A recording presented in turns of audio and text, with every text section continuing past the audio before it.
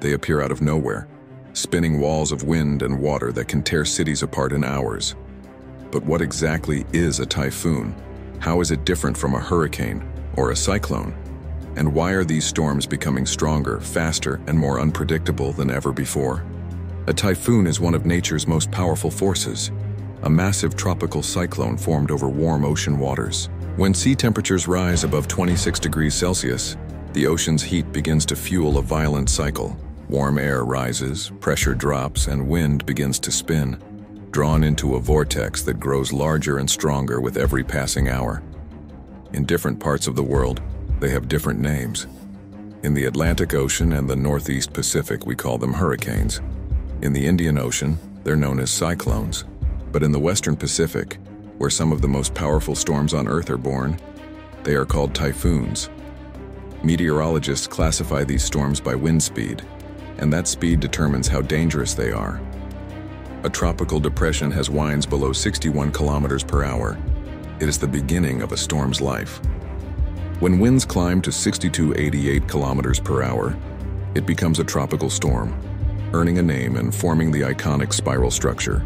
At 89 117 kilometers per hour, it's a severe tropical storm, capable of flooding and heavy damage.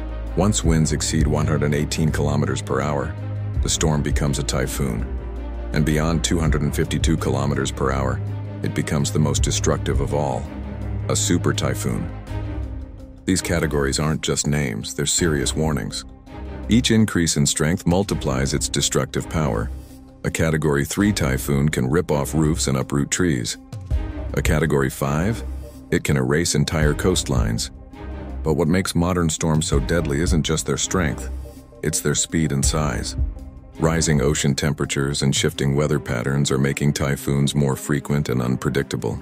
They now form faster, intensify overnight, and carry more rain than ever before, a phenomenon scientists call rapid intensification. Super Typhoon Haiyan in 2013 hit the Philippines with crazy strong winds. Typhoon Goni in 2020 was one of the strongest storms ever, and now in 2025, satellite data shows tropical systems forming earlier and lasting longer across the Pacific. Still in the heart of every typhoon lies an eerie calm. The eye, a silent reminder of balance amid chaos. It's a perfect circle of still air surrounded by destruction, proof that nature, even at its most violent, follows a strange and beautiful order.